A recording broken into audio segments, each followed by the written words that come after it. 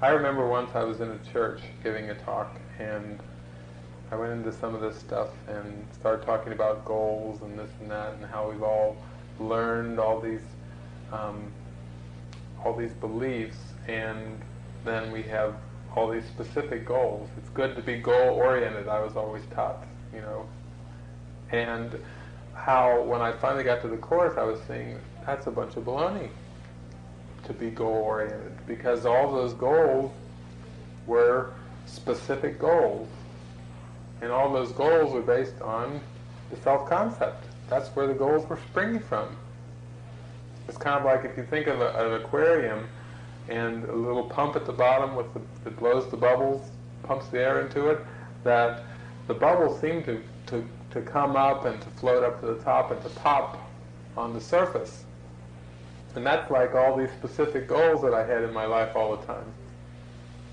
More, make more money, get this, get that, develop these skills, you know, do this, do that. I mean, those are pop, pop, pop, pop, pop. That's all the bubbles. But what about the little thing that's where the bubbles are what's generating the bubbles? I mean, you know, that's finally the point. I came to my point in my life where it's like I'm going to get down there to that generator, and I'm going to question that that little mechanism that seems to, the bubble seem to be coming from. So all specifics come from the self-concept. Yes. If you want to, if lessons 24 and 25 in the course just address this very, very directly. And to me, it's kind of like when I was talking about this and sharing this with this fellow at this church, he, he started to get a little bit angry because he was saying like, that can't be. It can't be what the course is is advocating. I said, he's saying, does that mean we shouldn't have any goals? I said, no, no. The Course is not advocating that you shouldn't have any goals. The Course is advocating that you should have one goal. and only one. And only one goal. And that that goal is abstract. That that goal is universal. That goal does not have a specific reference. What? What does that mean? It's not quantifiable. It's not quantifiable. It's not measurable. You, it's a it's a goal of purpose.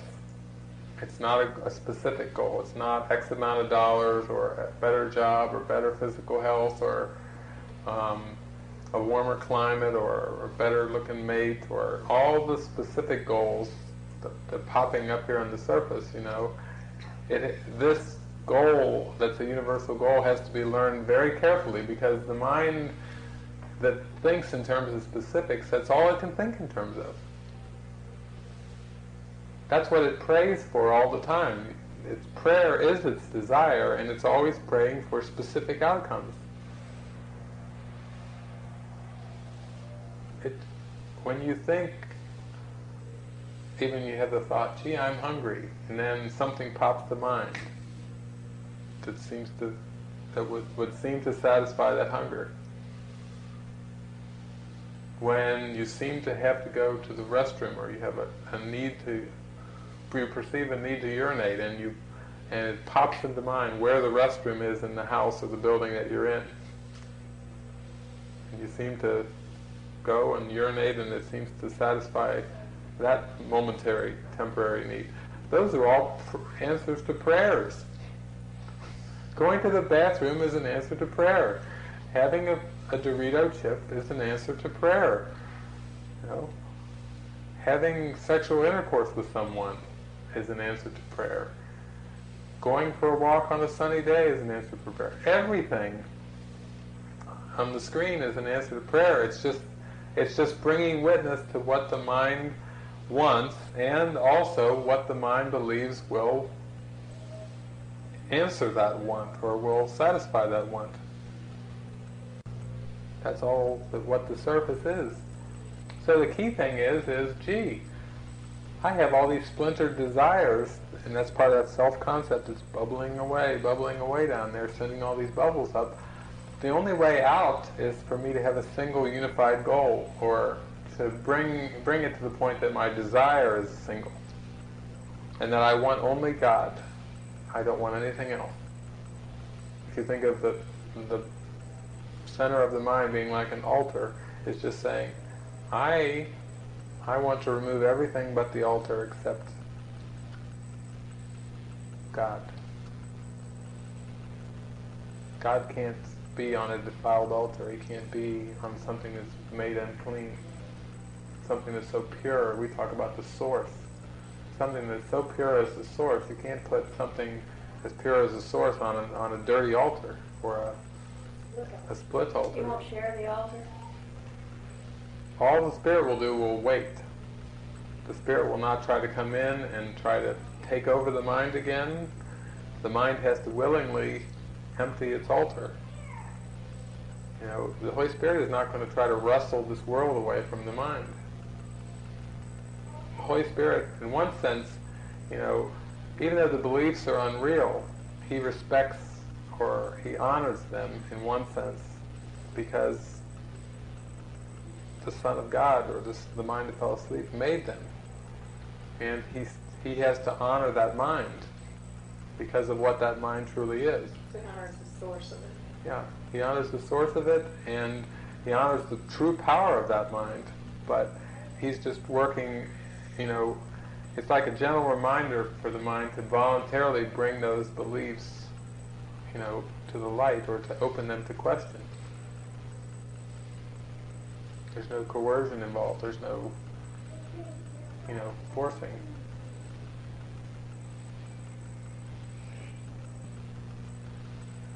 I the more I started to follow this, the more I would have, I would have some moments of fear where I would just, again, it would be that ego belief system in my mind saying, you know, if you follow this all the way out, if you really follow what he's saying, you know, you could, the ego is saying you could end up in dire straits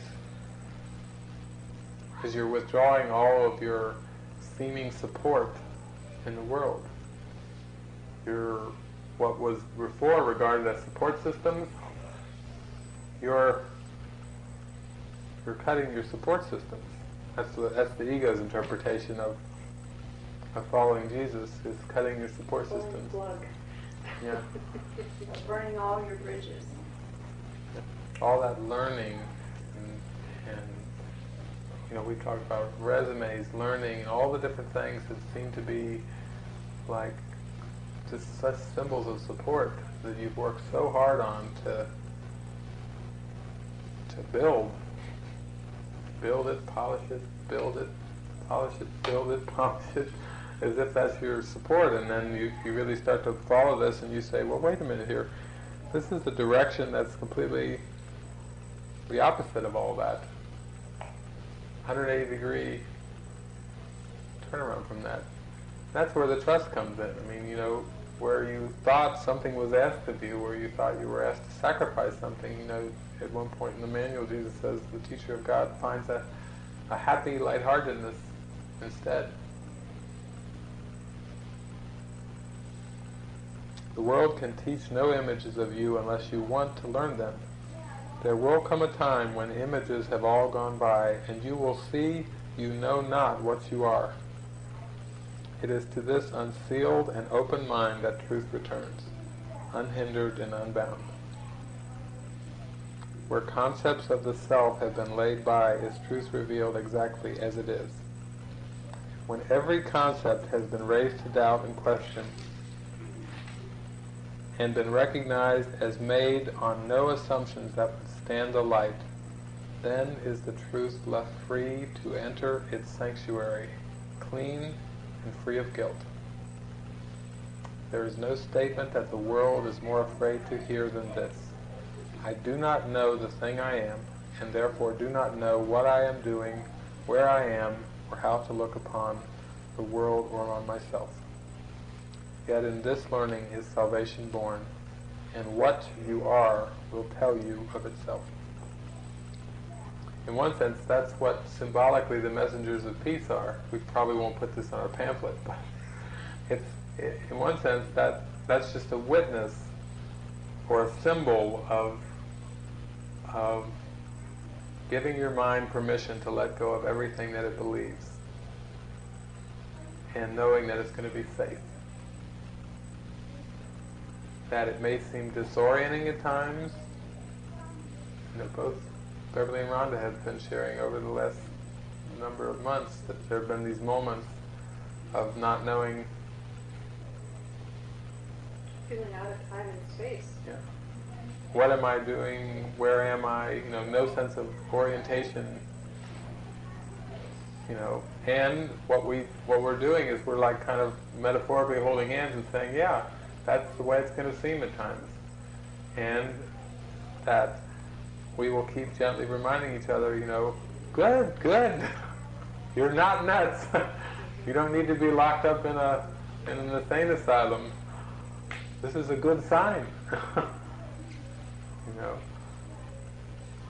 that when it's, you know, even at times it can seem like uh, the deeper you go, the more, at moments it seems almost like you're non-functional.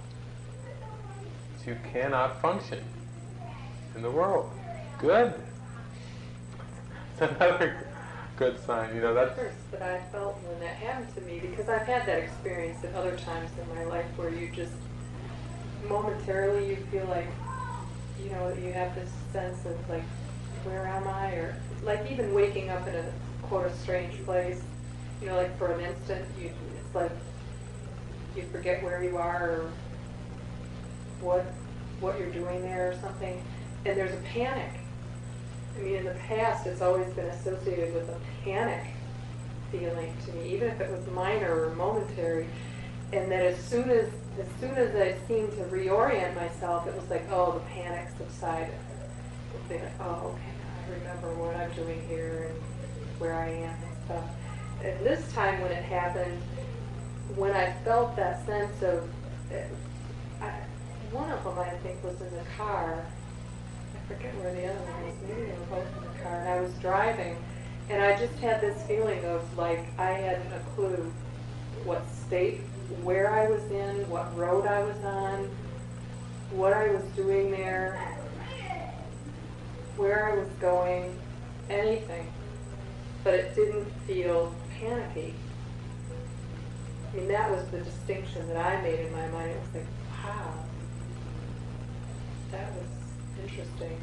You know, to have that feeling and not feel like panicky and feel a relief when it seemed to, when the memories seemed to come back. Oh yeah, I'm driving down such and such a road.